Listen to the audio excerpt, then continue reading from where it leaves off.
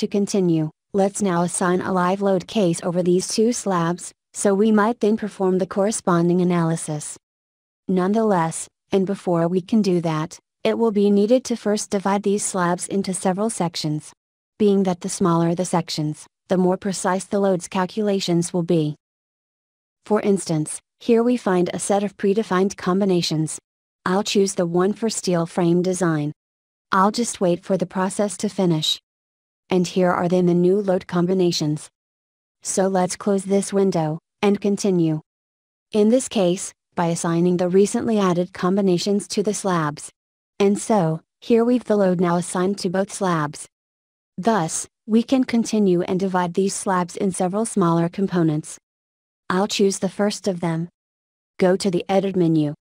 And inside Edit Areas, choose the Divide Areas tool. In this area, we can actually specify the number of times that the slab will be